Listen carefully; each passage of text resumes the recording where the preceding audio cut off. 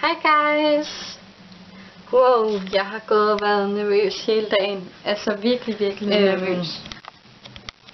Og jeg har været nervøs siden jeg fik Men Men, hvad da, ved- I dag der har jeg holdt møde med min sagsbehandler. Og øhm,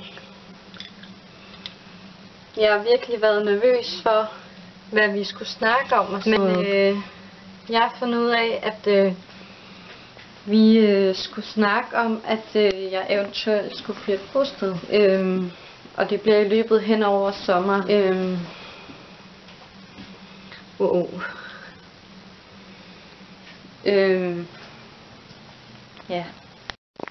Men nu skal jeg i hvert fald ned og ryge. Øhm, så ja, jeg skal lige have en cigaret. Cigaret, red, red, red, red. Kom så ud og pakke den, lille ven. Sådan der. Så jeg kan ryge. Og se, hvad min søster har malet til mig. Det så jeg godt i, øh, i bloggen i går. Det er simpelthen så fint. Så fik jeg lige anskaffet mig en lighter.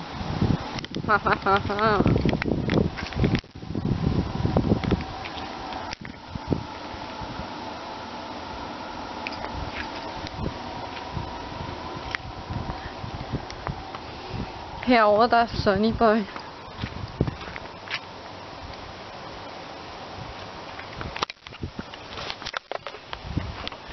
Der er han. Hej Sunny Boy. Hvad siger du til det? Ikke så meget. Nej, okay.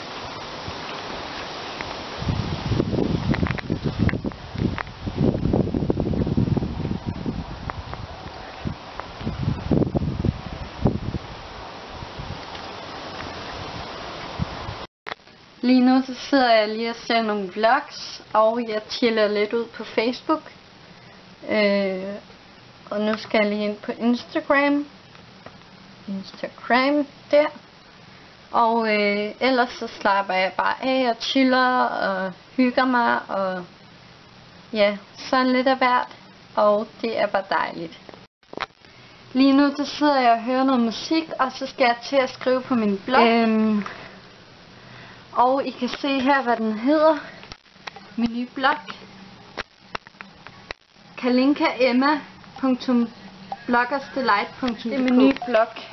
Øhm, og jeg skal til at skrive noget om min fremtid. Nu er jeg egentlig klar til at handle. Og øh, jeg har bare taget mine normale klipklapper på, som er fra Frosen. Og de ser sådan her ud. Og øh, ja, jeg kan lige vise dagens outfit. Øhm,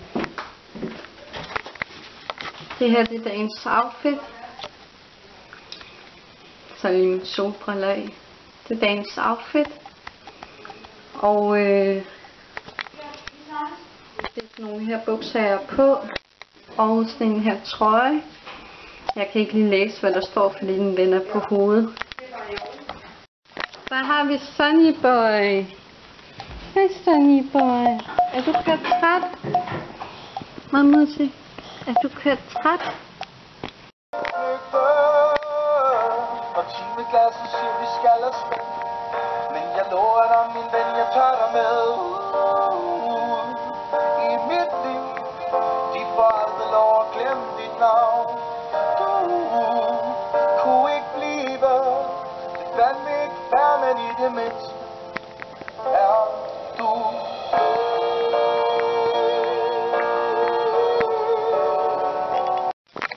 Nu har vi været ude at handle.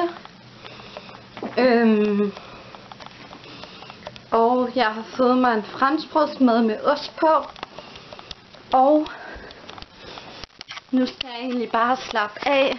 Slappe max af, fordi der har jeg virkelig behov for efter et møde. Og så, øhm, ja, yeah. jeg tror egentlig bare, at jeg skal slappe af. Nu sidder jeg lige og kigger rundt på nogle forskellige blogs. Og øh, Jeg har røget nogle smøger i mellemtiden. Og så øh, har jeg spillet ja til mine af de ansatte. Og øh, ja, nu sidder jeg egentlig bare og hører musik og kigger på nogle forskellige blogs. Og det er rigtig, rigtig hyggeligt.